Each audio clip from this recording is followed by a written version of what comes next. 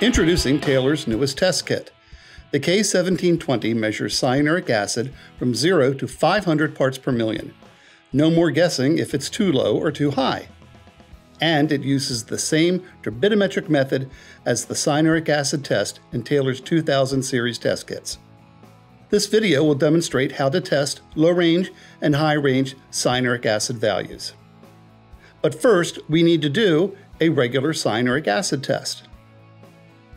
Rinse and fill the sample bottle to the 15 milliliter mark with the water to be tested. Add R-0013 cyanuric acid reagent to the bottom of the neck of the same bottle.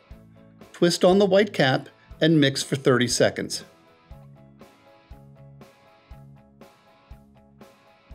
Your sample will become cloudy if cyanuric acid is present.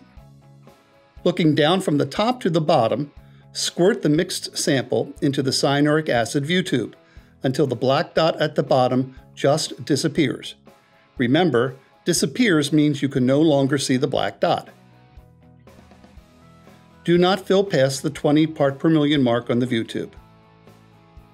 For the low range cyanuric acid test, repeat the same steps as above, but stop adding your mixed sample at the 20 part per million mark. Wait two minutes.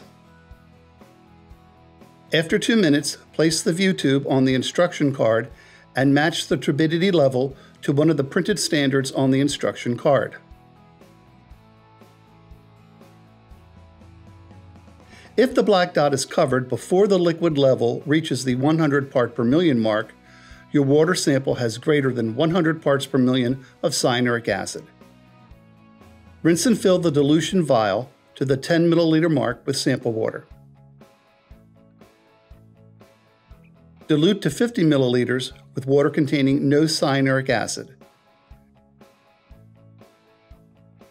Cap the tube and invert to mix. Repeat the steps for a standard cyanuric acid reading.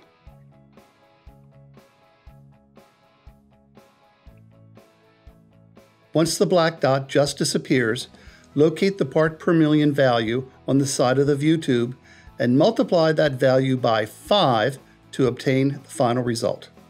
Now users can see how easy, quick, and economical it is to see both low and high ranges of, cyanuric acid.